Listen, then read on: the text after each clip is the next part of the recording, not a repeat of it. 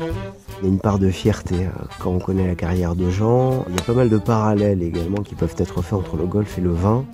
Je parlais justement de golf avec Jean tout à l'heure et il me parlait de travail et de pugnacité et de justement de rigueur et on a le même euh, sens de la rigueur dans la propriété. Et mettre le, nom de Jean euh, sur notre bouteille c'est vraiment génial.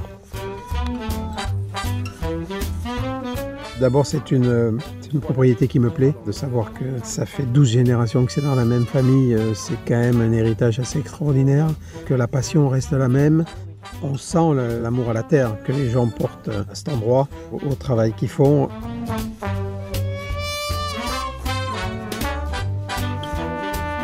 Le château Fournet est un vin qui va te donner beaucoup de plaisir au niveau du palais. Le Château Fournet est un vin qui a suffisamment de corps, a suffisamment de puissance, a suffisamment d'équilibre. C'est un, vin qui est, euh, qui est très équilibré, qui, pour moi correspond à ce que j'aime.